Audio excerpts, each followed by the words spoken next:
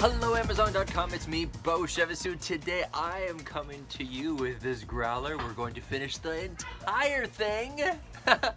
Just kidding, alcoholism is not a laughing matter.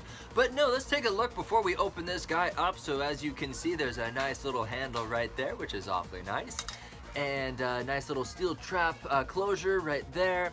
There's, um, you'll see once I open it up, there's a, a, rubber grommet that really keeps the seal in nicely. But I would like to point out, obviously you can see there's quite a bit of condensation coming off right there.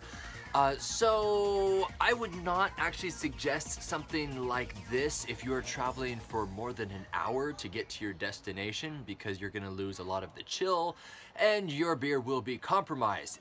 Point being, it's not insulated. You can see all of this condensation coming out and you don't want to show up with lukewarm beer and you try to get it cool again. Ah, that's disgusting. But anyway, this is what it looks like and it is full metal or, or I'm sorry, uh, aluminum which is kind of neat. It's kind of a step up from the the uh, the chintzy, cheap kind of glass growlers, you know what I mean? So I just got this, not but 20 minutes ago, so we're gonna go ahead and pop it open.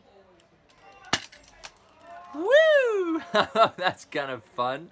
Uh, nice, good. Wow, that had quite a seal on it. Lovely. And as you can see, it's starting to go out right there. There's quite a bit of head, but of course I am trying to uh, do this with one hand. If you have a big hand, maybe it'll work. I kind of wish there was a handle on it because it's uh, uh, kind of awkward to hold with one hand and do this like so. Holy smokes! And this is a porter, by the way, in case you're wondering. So, um, wow, it's, um, well, that poured quite nicely, um, except for the fact that there's no handle on it. I, I kind of wish there was a handle.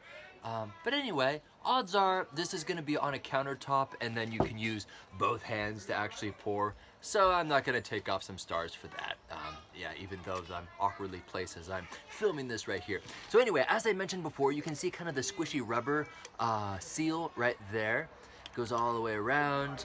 And this is how you seal it. You put it over like so like that. Very very nice tight seal. And there we go. Excellent. And then let's see if it actually leaks out. No it doesn't.